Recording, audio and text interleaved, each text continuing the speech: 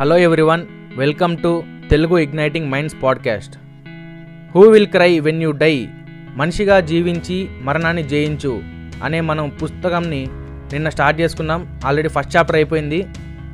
ఈరోజు second chapter మనం చూసుకుంటే ప్రతి దినం ఒక అగంతకుడి పట్ల దయ చూపండి.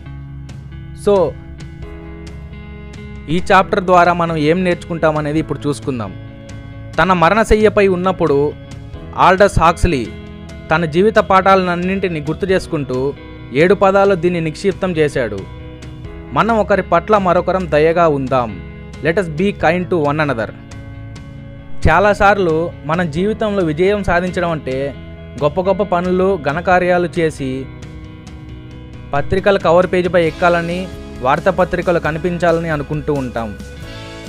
అంతకంటే అబద్ధం ఏదీ లేదు. అర్థవంతమైన జీవితం అంటే అనుదినం ఒక మంచి పని చేయడం ఇతరుల పట్ల దయతో మెలగడం. ఇదంతా కలిసి జీవితాంతం మనకి గొప్ప ఫలాలను ఇస్తుంది. మీ జీవితంలోకి అడుగుపెట్టే ప్రతి ఒక్కరూ మీకు ఒక పాఠమైన నేర్పగలరు. మీరు కలుసుకునే ప్రతి వ్యక్తికి మీలోని కరుణ మర్యాద ప్రదర్శించడానికి అవకాశం ఇచ్చేవాళ్ళే మీలో నిజంగా ఉన్న మిమ్మల్ని రోజు చూపుతూ మీ చుట్టూ ఉన్న ప్రపంచాన్ని ఎందుకు సుసంపన్నం చేసుకోకూడదు? నా ఉద్దేశంలో ప్రతిరోజు మీరు కనీసం ఒకరి ముఖంలోనైనా చిరునవ్వు తీసుకురాగలిగితే లేదా ఒక అపరిచితుడు మనసులో హాయి నింపగలిగితే మీ రోజు వృధా పోలేదు. ఈ గ్రహంపై మనం నివసించడానికి మనం ఇచ్చే అద్దె దయతో మెలగడం. అపరిచితుల పట్ల కరుణ ఎన్ని కొత్త రకాలుగా చూపవచ్చో అలా చూపండి. మీ కారు వెనక మరో కారు వస్తుందనుకోండి. ఆ కారులో వ్యక్తి కోసం మీరు సరిహద్దు సుంకం చెల్లించండి అంటే టోల్ ట్యాక్స్ని పే చేయండి. అదనే కాదు ఏదైనా. ఉదాహరణకి బస్సులో మీకంటే అవసరంలో ఉన్న వారికి ఉన్న వ్యక్తికి మీ సీట్ ఇవ్వండి. ఎవరైనా ఎదురైనప్పుడు మొదటి మీరే హలో అనండి.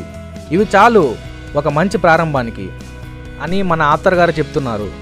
ఇటీవల వాషింగ్టన్ స్టేట్లో ఉండే ఒక ఆవిడ నా రచన the monk who sold his Ferrari book చదివి ఇలా ఉత్తరం రాసింది.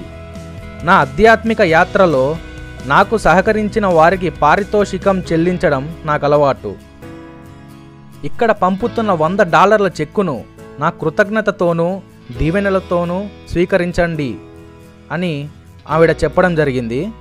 దానికి వెంటనే రాబిన్ శర్మ గారు ఆమె ఉదార బుద్ధికి ప్రతిగా నా ప్రసంగం ఉన్న ఆడియో టేపును ఆమెకు కానుగా పంపించాను అని చెప్పాడు. హృదయపూర్వకంగా ఏదైనా ఇవ్వడం అంటే ఏమిటో ఆమె చేసిన పని నాకు నేర్పింది అని మన రాబిన్ శర్మ గారు చెప్పారు. ఓవరాల్గా ఈ చాప్టర్ టూలో ప్రతిదినం ఒక అగంతుడి పట్ల దయ చూపండి.